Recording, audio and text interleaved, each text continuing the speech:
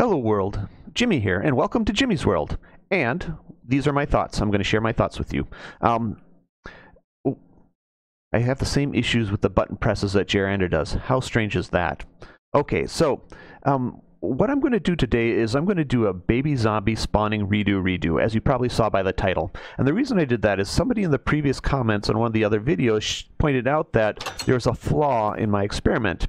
And that is maybe there are baby zombies spawning up there in the one by one, um, the one high patio that we built for them, and they're falling down and they're hitting the ground, and maybe their their their drops are despawning before I can come down and pick them up. So what I've done is set up this hopper system, which will feed in this chest.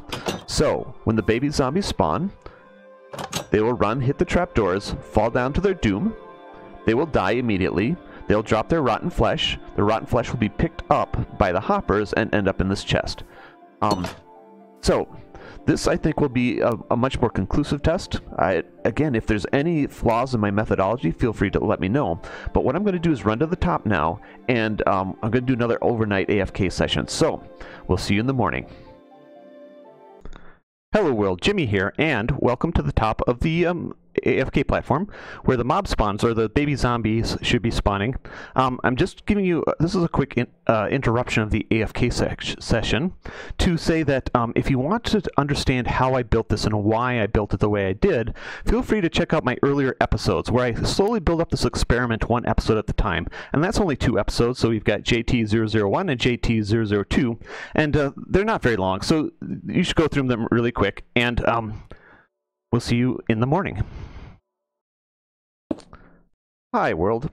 I just broke something. Or I'm hitting something. I don't know what I'm hitting.